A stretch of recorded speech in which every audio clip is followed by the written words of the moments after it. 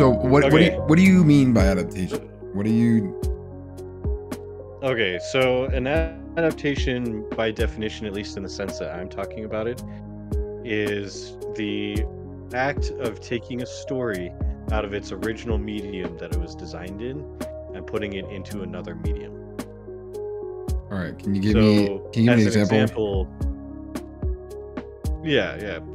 Uh, an example would be taking uh, manga and making it an anime, or in the Ah, same manner, yeah. taking like comic book Iron Man and making him live action Iron Man. Right, or like uh, taking a novel, and making a uh, movie like Harry Potter or Lord of the Rings.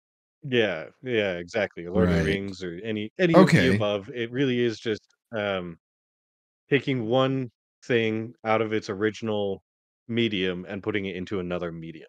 Yeah, so And you're I'm not interested in hearing, like, is there precedent for it? precedent. Is there precedent for it? What does that mean? What like is it something people should be doing? Is that what you mean? Or Well, so something that strikes me, something that's interesting to me is like, if you remember, uh, I don't know if you grew up with the Harry Potter movies, and I didn't necessarily grow up with them in the theaters all too much. Yes. I did spend time like watching them and stuff, but from all, every person I ever talked to was always like, uh, the book was better. And then it's the same thing with like the Hobbit movies. Uh, the book was better. And then Ender's Game. Right. Uh, the book is better. And Right. Yeah. No. It's it's uh it's a and very it makes me common wonder, thing for like, how people to many say anime that. are out there. So it yeah, because So- they're they're all different. The way the the ad, adapt the, the adaptations are all different on different scales. Because I think bringing a novel to Hollywood cinema, like live action, that is a very drastic like interpretation. I would say like it's very different, which is why I feel like Hmm. it's so polarizing. Like people are usually diehards for the movie or for the book, and I, I, I like, and what you were saying is true because I feel like honestly, most of the time, if someone's read the book, they prefer it. Um, most of the time, I from what I've seen from friends and everything. Uh, but then there's the people that don't like reading, and they're the ones that kind of tend to be more fans of the the movies and stuff. But then you have comics and manga, which it's weird how comics comics are Western and manga is Eastern. It's uh, Japanese, and I would say manga and anime is very much more closely related. Um, like usually the people who work on the anime are the same people who wrote the manga. Like you, you have the same guy overseeing its creation, where not all the time is the author going to be part of the movie. Um, for like let's say Harry Potter. Like I'm sure I I don't know I don't know the production of Harry Potter and Lord of the Rings, etc. I don't know if their authors were involved in any way. I have no idea because I know that like Stan Lee was involved in the MCU stuff. Um, I don't know how big of a role he had to play in it though. So it's it's just like this big question. But I know that manga and uh, anime are very much closely, more closely knit together. Um, and then yeah, it's just interesting because I feel like, in my opinion, I feel like that's the best adaptation I've seen. I don't, I can't think of anything off the top of my head that's maybe better. Because I, I, I, uh, do you have any other examples besides like necessarily like a book to a to a movie or show? Sure, there's I mean, there's that kind of adaptation, but there is taking a film and adapting it into a new uh kind of genre or, or a new style of storytelling. So the what I'm kind of alluding to is the notorious live action remakes that Disney makes Oh, over and over yeah. and over, almost ad nauseum. Which is weird. And it's like I an can't think of Yeah, it's an adaptation of itself. I can't think of a right. Well, and it it takes something that's intended to be animated and makes it live action, and I can't necessarily think of a live action one that I watched and was like, yeah, I prefer that over the original. Okay, okay. So this uh, were you? I don't, I don't want to cut it cut you off if you were gonna finish saying something there. Oh no, no, Okay. I, I'm I'm the ball is now in your court. Okay, I I think that you need you need I, this kind of goes back to what we were talking about with the uh the whole plagiarism thing, like the stealing content where I feel like you need to there needs to be an you need to understand why you're making it. because I think the the problem with these live action Disneys is that they're uninspired. They are completely like and, and again, lots of people work on these movies, so I'm not jabbing the individuals that work on the movie, but I'm just talking about like the business decisions and ultimately when you watch these live actions, you can feel that it's there's not as much love and passion behind them as the original product. And they're they're kind of remaking it to either, you know, re get the license to the copyright or so that uh, they can just make some more money off of that IP. Like that's kind of what it feels like at the end of the day. I, I think that's the overall consensus. I, I, that doesn't mean it's necessarily true, um, but that's the vibe I get from it as well, personally. So I I don't know, dude. It's when you look at let's say Lord of the Rings adaptation, like you can tell that there's love and passion behind it, and there's a use for it because not everybody likes to consume book for entertainment. So this is another way to get that story to people.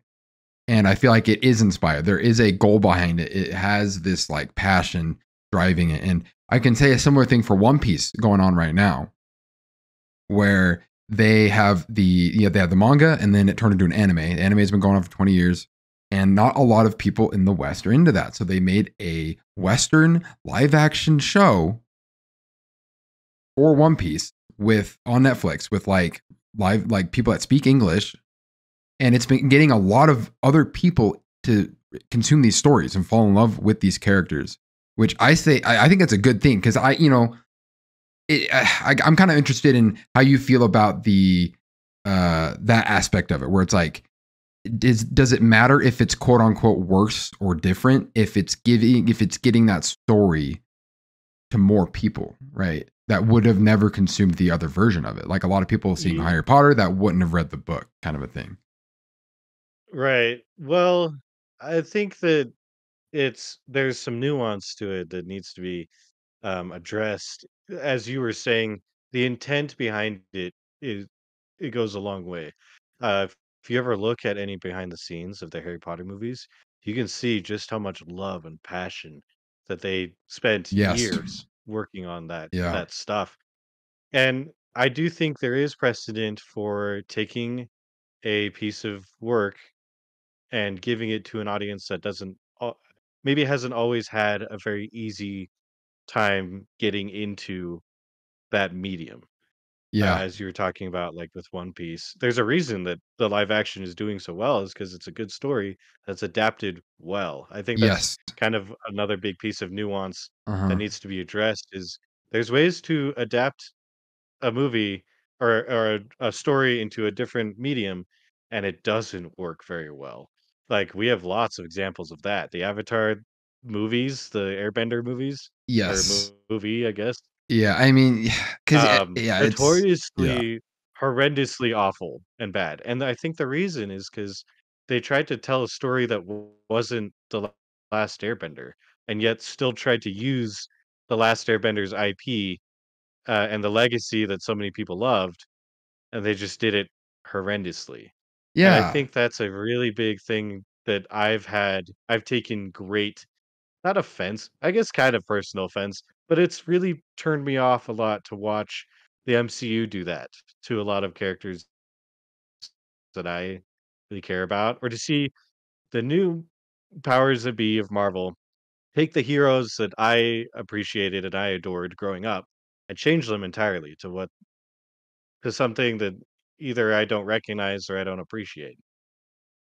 Yeah, because at, at Um, that point it's no longer like an adaptation. It's just like looking at a concept and doing your own version of it, kind of a thing. Like it's I- right. It's it, it's kind of like fan fiction almost is what it registers to me as. In, in a way, It's just yeah. people that get paid to do fan fiction. But but I don't know, how how far can you stray from the original source material before it becomes unfaithful, you know? It's yeah, I mean that's I feel like that's a question everybody has to answer for themselves because you know, uh that is that's a very interesting question because what you get out of something is completely different than what someone else gets out of it, and an adaptation might deliver that same thing for them, but it doesn't deliver what you liked about it. Um, if that makes sense. Sure, yeah. You know, That's a good so point. it's it is very interesting, and I you know I've learned a lot over the years about you know uh just like how people's tastes are different and uh what, like everyone values different things. Even like so like me and you might both like star wars but we would probably like star wars for different reasons. And that's something I, I couldn't wrap my head around for the longest time. Like i think it took it until i was like 16 17 to kind of like finally understand that not everybody liked what i liked for the same reason. It was just weird to me. Um but so that is interesting because like whoever adapts the the media or whatever it is they what they got out of it might be what they're trying to create which the aspect that you liked from it might not be there because maybe that's not what they got out of it when they watched it. So they you know what i mean? There could be that disconnect um because it's uh, you Yeah, know, it's it's Yeah, so hard and- to transfer what was in that original creator's brain into a new medium in first place. That's that's already insane. So Yeah, it's it's an undertaking that's really tough to get right. Yeah. Um, it's one of the reasons I brought up Iron Man is I I think Iron Man is a situation where people took the original source material and somehow elevated it beyond yeah what it originally was in its first medium. And I can't think of too many other series that have done it quite to the same degree that Iron Man has. Like Iron Man now is a household name. Everyone knows who Tony Stark is, or mostly everyone. And if you don't, then you've at least heard the name Tony Stark slash Iron Man. Um, Yeah, it's it's so that's and I, it. You bring up an that interesting wasn't point. the case when the comics were around. That wasn't the case. Yeah, yeah, but you, you bring up an interesting point where uh these these the early MCU people, I, I not all of them, but like especially Iron Man and Captain America, they weren't the the fan favorites of Marvel. Like maybe like I, I'm not I wasn't there when Marvel was new, but from what I've heard, you know, Captain America and Iron Man were very one dimensional. They were very simple characters because they were very they were like some of the first ones ever made. Um, but like the depth that the MCU adds to these characters is what made people fall in love with them in the MCU. These were things that the the creative liberties that were taken that I think later led to the problems that we're running into because these characters that are fleshed out in things later on in the MCU, like now that those creative liberties are being attached to them, it's like affecting them negatively. Whereas I feel like Captain America and Iron Man were kind of like these blank slates that when depth was added to them, it just made them these super amazing characters. Um, but you again, you can also tell that there was there was a bit more love and passion put into them back then than uh, kind of like the nine to five. We gotta do the next movie kind of thing. Yeah. now. Well, so there's something there's a precedent also, at least in the case of the MCU. Um, I don't know if you've ever heard of Nerdrotic. The he's he's a YouTuber. He he kind of goes ham on like crapping on Hollywood, kind of. And Ah, yeah, he could be a little abrasive about it, but he does have some interesting clips. One of the clips, like at the beginning of one of his videos, showed Marvel project after Marvel project of just like interview after interview, going all the way back to like WandaVision and and around then. And it's like director and creative writers and all that stuff, interview after interview. No, I never read the comics, or no, I I didn't identify with the source material, or "Uh, I didn't I didn't I don't know who the character was when I got hired on for this, and uh, I didn't grow up with Daredevil, or I didn't grow up with Hawkeye, or I didn't grow up with Falcon, and it it makes me feel a little int- confused yeah. Because huh. when you watch the original Iron Man and you watch the original Captain America, you know that the creators of those things uh, they were taking risks and they were taking they were traveling into a, an unknown relatively unknown territory superhero movies at the time weren't like wildly successful outside of Yeah. the Tobey Maguire Spider-Man movies and Yes. Batman I think Yeah. Uh huh. um That, that is correct. but I I do think those two characters specifically transcend the art of the superhero Yeah. Yeah, it was. timeless, legendary characters. I remember. I remember being two or three. Well, not two. I was like three or four years old, and I was over at my my childhood friend's house. We were in his room, uh, arguing about Spider Man versus Batman. And I, I had a Spider Man figure, and he had a Batman figure. But it's like, even back then and to this day, I feel like those two are like, they're the king. They're, the they're the superhero kings. You know, like Superman's iconic, but I just feel like Yeah. everybody's favorite is going to be either Spider Man or Batman most of the time, um, for good reason. yeah, sure. Um, Yeah. Well, so but you know, Iron Man and, and Captain America and and those kind of original creations were created by comic book lovers that loved the story and wanted to give it to a new audience, like you were saying.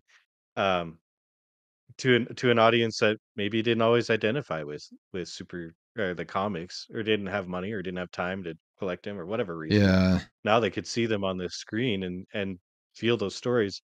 I just feel like lately Marvel went from such good adaptation with people who really wanted to tell the original story to now trying to tell stories that aren't at all like how they were, if that makes Yeah, sense. well, so like you said about One Piece, the reason why people like it is because the foundation is the same. It's the same story. So of course people are going to like it because it's really well made and thought out and the meaning behind it's really impactful and everything. And so when you when you look at a story like that and if you were just if you decided no, I I'm just going to use the characters and the the branding and I'm going to do my own thing that's when it doesn't work, right? Like, uh, you know, it, same thing. Like any, anything that has filler, right? If you watch an anime with filler, it's this, it's that, it's the same exact thing. It's like you're watching something, but it's like there, you don't have, there's not that, like, the the whole plan. It's not planned out with like that story in mind. Like when people, when, when writers write a story, like they're specifically trying to convey something. It's like a very specific you know so if you're just like oh i'm gonna make it look and sound like it but that that without that meaning behind it it, it falls flat so it's just weird to me because it's like you guys have like it, the mcu people have the foundation to make incredible stuff like they're working with some of the coolest ips of all time and they're like nah i'm gonna do my own thing which is funny because that quote is from spider-verse but they they they do that and it's uh it just falls flat, dude. I just don't understand, man. I'm still gonna be I'm gonna be mad about Taskmaster for like the rest of my life, bro. But it's yeah, it's it's Yeah. interesting. It's interesting how Marvel went from some of the best adaptations to some of the worst. And the, the last thing I want to mention here uh, is I think that the anime adaptations are an interesting thing, like the live action ones specifically. One Piece is doing it the best we've seen. I think there's still room for improvement, of course, but I just if you like, there are so many adaptations before it that suck. I don't think there's a single one that has been Uh, considered Full Metal on on Titan. equal grounds as the yeah Death Note, Full Metal Attack, yeah Attack on Titan. I think uh I heard that the the Kenshin one was pretty good, Ooh, but that one's like I heard That Cowboy one's- Bebop was awful. yes awful because because they just leave content out. It's not if because this is what I'm saying is that the the anime stuff if you're gonna adapt it you have to do it right. You can't rush these stories, which is why I think a lot of people that watch uh, movie adapta- ad- movie adaptations of books they get upset because there's so much more in the book that the movie could not get to, and some of that content that is cut out is very impactful, or maybe that was their favorite moment, or maybe without that context, this plot point doesn't make any sense, right? And like, because again, when the person writes it, they have that vision in mind. So when you're cutting this content out, it really affects it. And while movies can get away with it, if you're trying to adapt adapt a you know 60 plus episode show into a 10 episode live action series, it's just not going to happen. You know, you're going to have to cut stuff out and it's not going to leave the same impact. And that's not even talking about if the voice acting or the actors or whatever or the music. Like that's not even talking about Oh, that. the So, CGI. yeah. Oh, So Anyways, I've seen some of the anime adaptation CGI, and it's it's ah, atrocious. I haven't even watched them, bro. I'm too scared. I'm too scared. I've seen One Piece, right? One Piece is good, but like I'm too scared to watch the other ones, dude. If someone was like, "It's it's amazing," I, I'd go do it. But I've yet to hear anybody eh, give a good word about the live action anime adaptations. So Maybe we should take a look at them and give reviews. Oh man, sometime in the future, maybe, but- maybe, dude. I, I, I do, I do it. for the fans. for it. I, I do it for the fans, dude. I, I do it so you don't have to. Um, kind of a deal. So Well, our our uh, our next train's getting here, so we probably gotta get on that train. But yeah, a- adaptation is it's pretty interesting. I'm interested to hear other pe- people's thoughts on it, on like um if there is precedent for it, why you would do it, why you wouldn't do it, that kind of stuff. Well, I, I think from what we've discussed here, I think that it's totally a good thing, but it needs to be done right. And it needs to be done with the same passion and care that the original had. Because you can even look at like games that have been like rebooted or continued by other companies, do it right and do it wrong. You know, Crash 4 versus Halo 5. You know, it's like. eh, which I, I, yeah anyways i know that there's nuance to all that but it's like you need you need to care about it if you're going to adapt it i think that's just what it comes down to but bringing it to a whole new audience Mhm. is totally worth it in my eyes so but yeah Good stuff. good stuff Well, uh, we gotta hit that train. we gotta hit that train